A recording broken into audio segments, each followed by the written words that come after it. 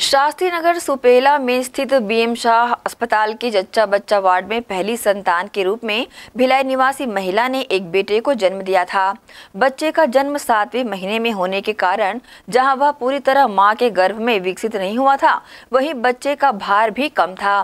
जिसकी हालत को देखते हुए अस्पताल में तैनात शिशु रोग विशेषज्ञ डॉक्टर स्वदेश वर्मा ने बच्चे को जहाँ इंकुइवेटर मशीन में रखा, वहीं उसके कम भार और अन्य समस्याओं का उपचार शुरू किया। मंगलवार को बच्चे के सामान्य होने पर उसे पारिवारिक सदस्यों को सौंपा गया। गौरतलब है कि श्रीमती रेखा की अपेक्षित प्रसव तिथि जुलाई 2023 में थी, लेकिन उनके गर्भकाल के सातवें माह में ही उनका ब्लड प्रेशर अत्यधिक बढ़ने लगा। जिसके कारण गर्भकाल पूर्ण होने की प्रतीक्षा करना संभव नहीं था। इसलिए माँ और बच्चे की सुरक्षा को ध्यान में रखते हुए मई 2023 में ही श्रीमती रेखा का आपातकालीन प्रसव ऑपरेशन द्वारा करवाया गया। इस सात माह में जन्मे नवजात बच्चे को सांस लेने में काफ़ी कठिनाइयाँ थी और नवजात के फेफड़े भी बहुत कमज़ोर थे। नवजात को बीएम शाह अस्पताल के एनआईसीयू, शिशु एवं बाल रोग विशेषज्ञ डॉक्टर स्वदेश वर्मा की देखरेख में भर्ती करवाया गया। जहाँ नवजात को सी पैप पर रखा गया। साथ ही फेफड़े की क्षमता बढ़ाने के लिए सरफेक्टेंट इंजेक्शन भी दिए गए।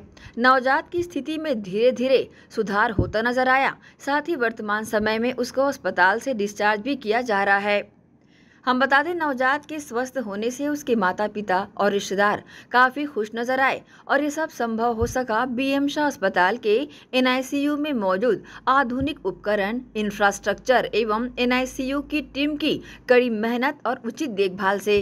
हॉस्पिटल के मेडिकल डायरेक्टर डॉक्टर जय कुमार तिवारी एवं director operation doctor Arun Mishra ने इस काम के लिए डॉक्टर स्वदेश वर्मा एवं समस्त एनआईसीयू टीम को शुभकामनाएँ दी। साथ ही उन्हें इसी तरह के कार्य करने के लिए प्रोत्साहित भी किया।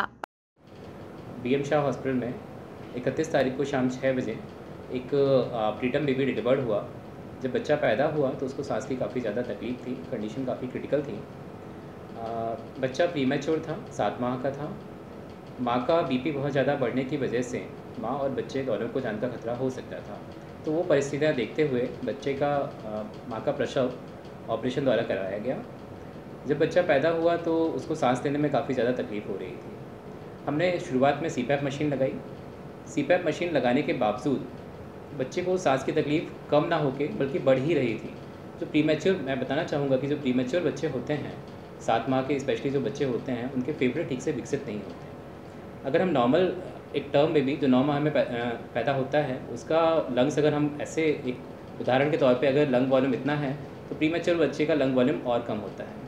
तो वैसी परिस्थिति में बच्चे को सांस लेने में तकलीफ़ें आती हैं। तो लंग्स के वॉल्यूम को बढ़ाने के लिए एक इंजेक्शन का उपयोग किया जाता है, जो तरल पदार्थ होता है, वो स्वास्थ्य स्वास्थ्य नदी के माध्यम से होते हुए फेफड़ों तक जाता है। तो उस पदार्थ का उपयोग किया गया, जिसके बाद बच्चे की कंडीशन में धीरे धीरे थोड़ा सुधार आया अगले दो से तीन दिनों में हमने सी मशीन हटा दी। एवं बच्चे को ऑक्सीजन पर शिफ्ट किया अगले एक दो दिनों में वो भी हटा दिया। सेकेंड जो हमारे लिए चैलेंजिंग था, वो था बच्चे का दूध को पचा पाना। जो प्रीमेच्योर बच्चे होते हैं, वो उनकी आते भी प्रीमेच्योर होती हैं। तो कई बार फीट के इंटॉलरेंस के इश्यूज़ आते हैं। तो शुरू के दो तीन दिन काफ़ी परेशानियाँ आई, बच्चा दूध नहीं पचा रहा था मिनिमम फ़ीड भी वो पचा नहीं पा रहा था। उसके लिए कुछ मेडिकेशंस दिए। हम ऑलरेडी प्रिपेयर थे उस चीज़ को लेकर क्योंकि प्रीमेच्योर बच्चे में इश्यूज़ आते हैं। चौथे दिन से उसने दूध पचाना थोड़ा थोड़ा शुरू किया। अभी बच्चा बिल्कुल ठीक है और अच्छे से दूध पचा रहा है, अपने आप रो के डिमांड करके खुद से फ़ीड कर रहा है। तीसरा एक बड़ा इशू आता है जो प्रीमेचर बेबीज़ होते हैं, उनमें इन्फेक्शंस का बहुत ज़्यादा खतरा होता है, क्योंकि इम्यूनिटी बिल्कुल भी नहीं है। अगर इम्यूनिटी डेवलप नहीं है तो इन्फेक्शंस होने स्वाभाविक है, कोई भी ज़रा सा भी अगर कोई अनहाइजीन टच हो गया तो इन्फेक्शन हो सकता है।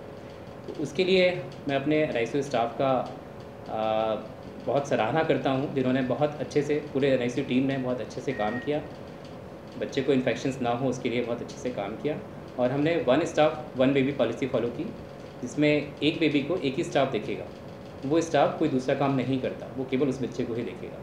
तो ये पॉलिसी फॉलो की और उसका रिज़ल्ट भी हमारे सामने है। कल हमने उसको एनआईसीयू से माँ के पास शिफ्ट कर दिया था। माँ के पास चौबीस घंटे रखा, ताकि माँ भी उसके लिए अच्छे से ट्रेंड हो जाए। एनआईसीयू में पहले हम माँ को बुला के, माँ को बच्चे से पास में रखते हैं के करवाते हैं, ताकि बच्चा माँ और बच्चे में एक बॉन्डिंग बने और माँ भी ट्रेंड हो जाए। उसके बाद हमने बच्चे को वार्ड में शिफ्ट किया, चौबीस घंटे माँ के साथ रखा। बहरहाल, शहर का प्रतिष्ठित बीएम शाह हॉस्पिटल बहुत ही कम समय में अपनी पहचान देश प्रदेश में बना चुका है। यही कारण है कि यहाँ से स्वस्थ होकर निकले परिजन काफ़ी संतुष्ट हैं और अस्पताल की भूरी भूरी प्रशंसा करते नज़र आते हैं। ग्रैंड एशियन न्यूज़ के लिए प्रवीण मिर्जी के साथ शाहिन खान की रिपोर्ट।